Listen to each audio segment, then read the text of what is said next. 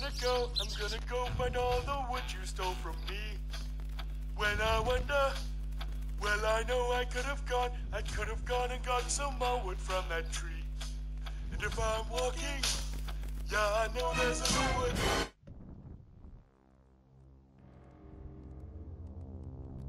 Rah, rah,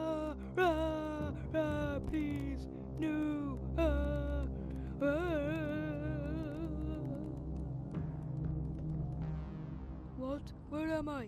And why isn't anything a square? I am very confused and a little bit scared.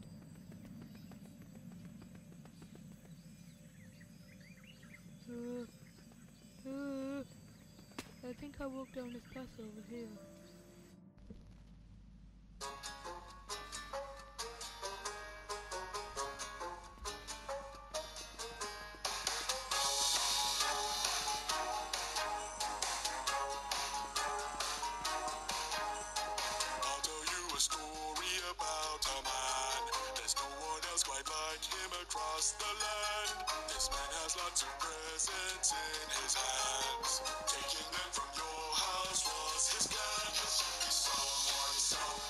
Selfish criminal. Yes, you be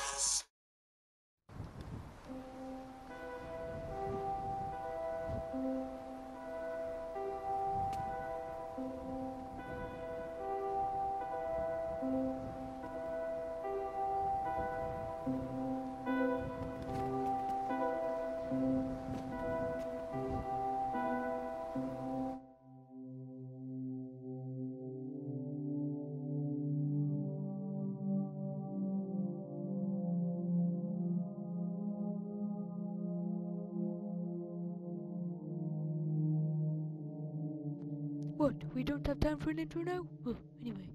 Breaking news! A local citizen has gone missing. He apparently he has gone to an unknown realm called Earth.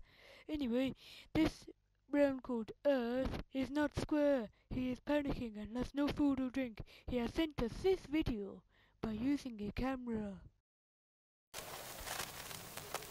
Uh, um, is this thing on? Yes, yes, I think so. Um, hello, my name is villager number 24. I have been sent to another realm, and I have been stuck here for nearly a day. I have built a house over here. It is a very cozy house. I have also built a fire over here. If you re- if you are getting this message, please me numbers are two number nines, and no- another number nine, a number six, a number seven, two number forty-fives, a slice of cheese, and a large cup of coffee. If you won the today's lottery, don't come to us. Go to the bank for the fifth time this year. Okay. This is the end of tonight's episode of Villager News. Join in next time, which is tomorrow. Goodbye. Ooh, yay. I wonder if I caught any animals from my animal trap, aka the fireplace.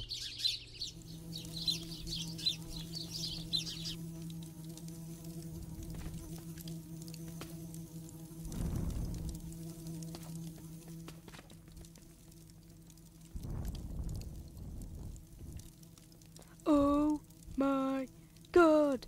I found a cow! I think he's the cow.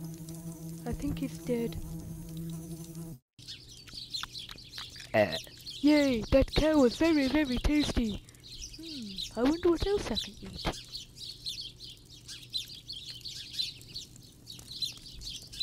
Hello? Is anybody there? Um, no? Oh, okay. Wait a second. If, if no one is there, then how did you speak? I'm a big fat birdie. No, you are bloody well not. And if you don't speak now or come out, I will come over to there with my axe and chop you into little pieces, and then I will eat you too, like I did with that cow over there. Okay, I will come out. What were you doing behind there? I was searching for food because I am very, very hungry. Now I will ask you the same thing.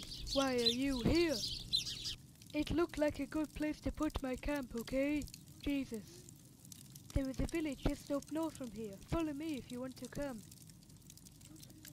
Can I bring my axe? Yeah, sure.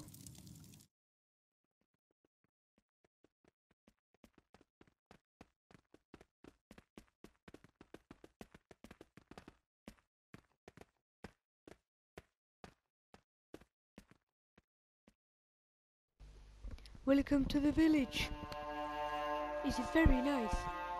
But does it get very cold up here up north sometimes? Oh my friend, it is always cold up north. Okay, but can I buy a house here? And if I can, how much will it be? One emerald. There you go. You want and buy a book maybe. I'm going to go and check out my house just up there. I will see you later. Goodbye. Goodbye. I think I read an audiobook. by John Steinbeck. Read by Gary Sinise. A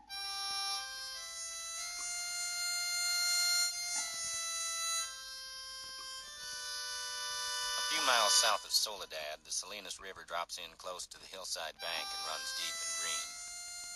The water is warm too, for slip twinkling over the yellow sands in the sunlight before reaching the narrow pool.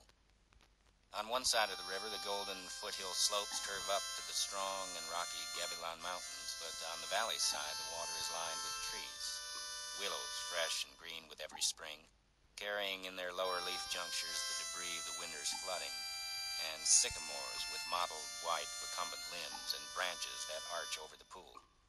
On the sandy bank under the trees, the leaves lie deep and steadied it, and he brought the muzzle of it close to the back of Lennie's head. The hand shook violently, but his face set and his hand steadied. He pulled the trigger. The crash of the shot rolled up the hills and rolled down again.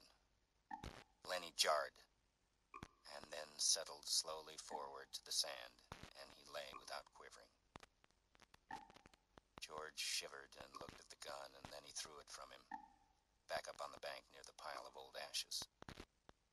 In feet, Slim's voice shouted. George? Where you at, George? But George sat stiffly on the bank and looked at his right hand. Oh, oh. Hmm, I might go to the library and see how my new friend is doing. I might buy another book from him. Hello. Oh, it's you. Would you like to go out for a few drinks later on at the pub? Yeah, sure.